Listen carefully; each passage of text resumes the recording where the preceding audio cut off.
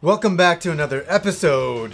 And today I'm really excited, I'm super happy to talk about one of my most beloved games on the TurboGrafx CD-ROM, and that is Last Alert. Now, Last Alert was released as Red Alert in Japan in 1989 by Telenet Japan on the PC Engine CD-ROM. Now, Last Alert is a one-man action game starring the motherfucking Guy Kazama, one of the most unknown characters in video game history, but to me, one of the most important. Now, this game has three things going for it. First of all, fun, responsive gameplay. Second, memorable, incredible music.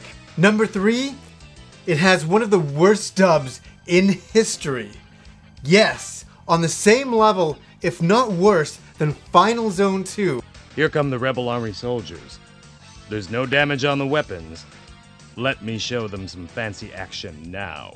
Check out my review of that because the the dubbing in that was beyond reality, and I spent a long time going through that entire game. Now, just like Final Zone 2, today I'm going to go through every single level of this game because I want to show you the insanity that is Last Alert. The game begins with a flashback sequence to November 1988, where Guy Kazama is set up by the Lloyd government. And I swear, this is where Guy Kazama is born, with his frustration to the Lloyd government. But now we're introduced to the bad guys of the Force Project. Colonel Kadar of the Republic of Libid, Mr. Lee of the Hong Kong Mafia, Chairman Steve of the Dual Foundation, Dr. Garcia, a brilliant physicist. With these four as its core figures, Force Project, an international armed band, began its evil activities. Its aim was to rule the world by organizing massacres, blackmailing, terrorism, and smuggling of weapons. Now, I always love this clip so much that back in 2007, before I had a YouTube channel,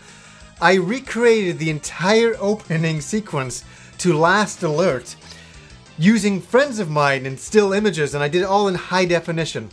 I'll just play it. Colonel Kadar of the Republic of Libid, Mr. Lee of the Hong Kong Mafia, Chairman Steve of the Dual Foundation, Dr. Garcia, a brilliant physicist. With these four as its core figures, Force Project, an international armed band, began its evil activities. Its aim was to rule the world by organizing massacres, blackmailing, terrorism, and smuggling of weapons. Yes, I know, I had way too much time on my hands. We are now introduced to Leonard, who works at the CIA, and he is talking to the president on the phone, and he's assuring the president that he's found the perfect man for the job to take on the Force Project, and that person is Guy Kazama.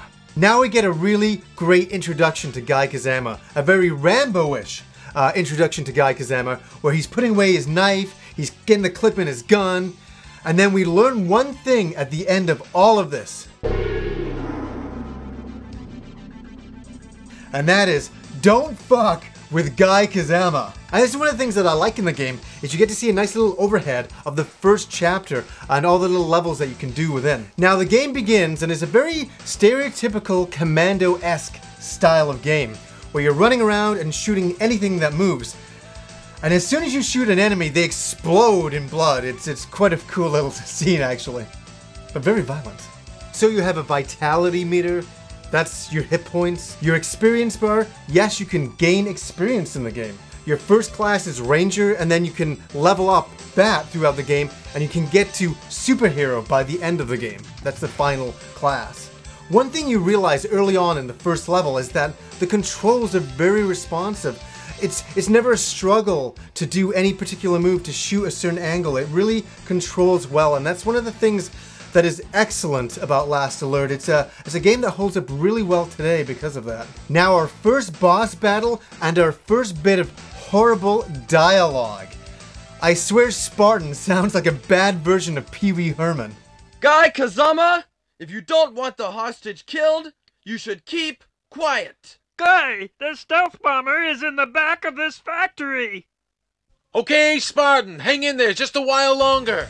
Now, truthfully, this is truthfully, I love this exchange so much that I have the Japanese version of that on my phone as my ringtone. Kim, phone me. She's been standing here the whole time waiting.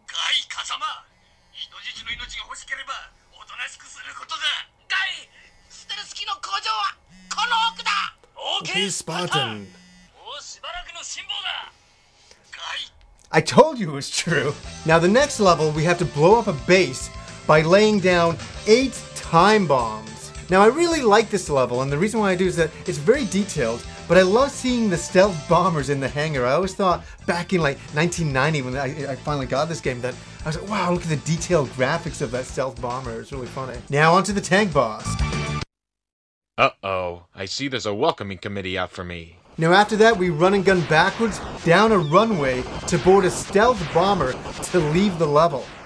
But meanwhile, the president's plane has crashed, and he gets awkwardly captured by the Force Project. Who are you?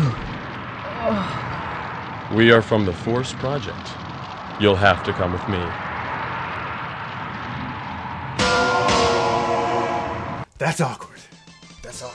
That's awkward. Guy Kazama once again packs his bags, but this time he is going to the snowy mountains to rescue the president. Then he gets to the first boss duo. But what's funny here, his voice changes halfway through to this weird Russian accent? Fool! Allman's already been taken away! Well, then all I need to do is let you tell me where he is. I was always like, why did his voice change all of a sudden? Our main character is so sarcastic. I don't know what's going on with him. We finally find the president.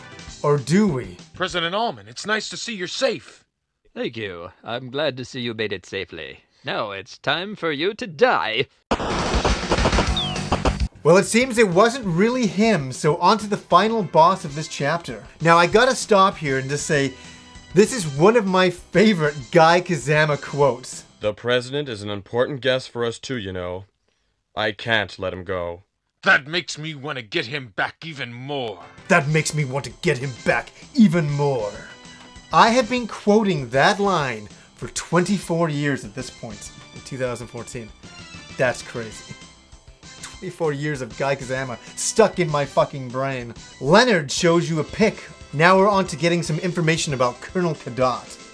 So after rescuing all the hostages, we get to another classic Guy Kazama boss exchange. I'll burn you to death with these flames. How do you want it done, rare or medium? Sorry, I don't like roast pork. Hey, he doesn't like roast pork. I can understand this. Don't question Guy Kazama. Now we're on to Colonel Kadat's Guard Red. After we get up the hill of the minecar level, we get to... Damn. I'm just gonna let this fucking play. Clear the way! Guy Kazama, you better watch what you say to me. I'm really quick on the trigger. I mean, who the fuck wrote that? Who wrote that? It's the most insane dialogue. I just, this game baffles me. It's so funny. It's so weird. Like this next boss clip. This river's gonna turn red with your blood! How interesting. But it's going to be your blood, not mine. Okay, hell, let's just keep going. Hey, guy! Let my baby Betty throw you a kiss! You're some weirdo naming your helicopter. Everybody, Colonel Cadot. How dare you kill these precious men whom I've trained? Well, Colonel, you haven't done a very good job of training them.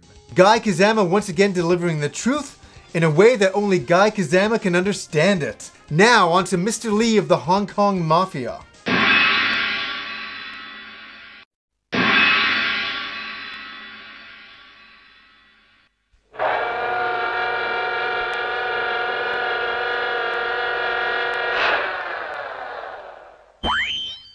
I have received information about a CIA dog, Guy Kazama, who assassinated a member of the Force Project, Colonel Kadat. He intends to enter the martial arts tournament you host every year to uh, kill you, Mr. Lee. Really? Well, that's interesting. So we plan to present you with three of the toughest fighters. By the way, Dr. Garcia, how is the development of your ultimate weapon, Indra, coming along. yeah, it uh, should be completed uh, within a month. Now we have to kill his first three guards. The first one is just music.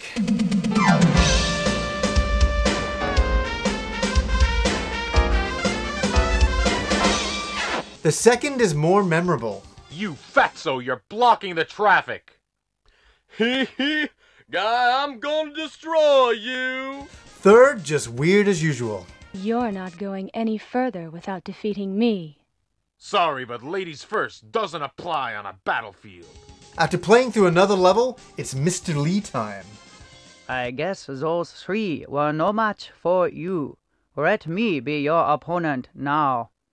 Mr. Lee, this tower's beginning to look like your tombstone. Liked Mr. Lee as well. It's sad to see him go. Also, the, the boss battle was, was pretty fun. Next, Guy Kazama is on a luxury liner trying to track down the rest of the Force Project team. But he does something fucked up. He plants a bomb and explodes it to bring out the real Force Project members. I mean, like, how the hell was that a good idea? There's women and children on this luxury liner. Now, dressed as James Bond, he makes his way down to the armory. And obviously, another terrible boss exchange. I guess you're what they call an uninvited guest.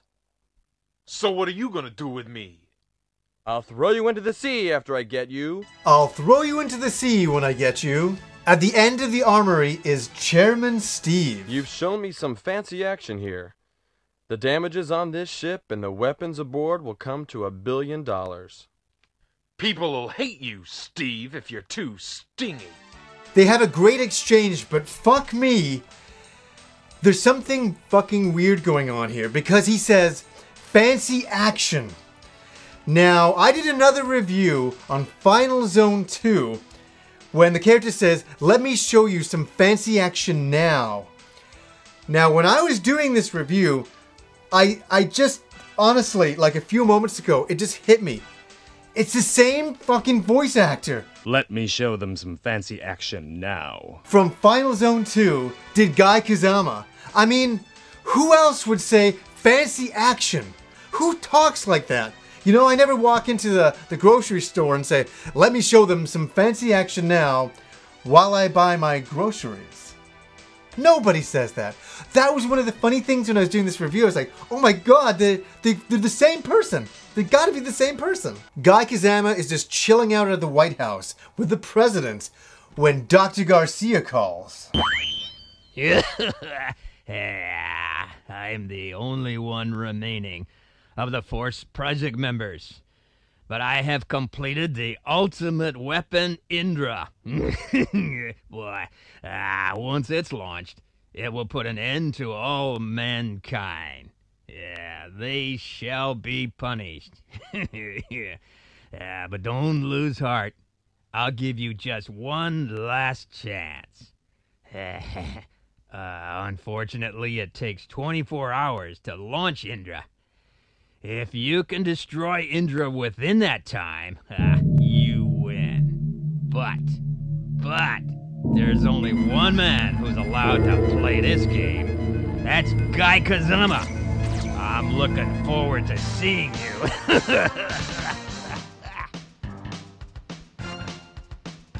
As the President of the United States, I ask you, save all mankind. I'll try, but I can't take the responsibility. This mission is just too great. Now we get to the enemy base. I gotta say that after all of these years, and it's been 24 years for this game, the levels hold up really, really well. There's so much beautiful detail in them. I, I cannot believe that it's such an old game now. Boss time, and I'm sorry, you have to see all of these. Guy, long time no see. Is it you, Dark? You're still alive? Dr. Garcia brought me back to life. You won't get me that easily this time, Guy Kazama. Eureka! It's funny, the game is is throwing so much at you in the way of enemies at this point that we get slow down and Guy Kazama is just chugging his way through, blasting all of his weapons and fighting all these robots and stuff. It's it's it's really funny, but we make our way through to Dr. Garcia. So we meet finally, Dr. Garcia. Guy Kazama, you have foiled every one of my ambitions.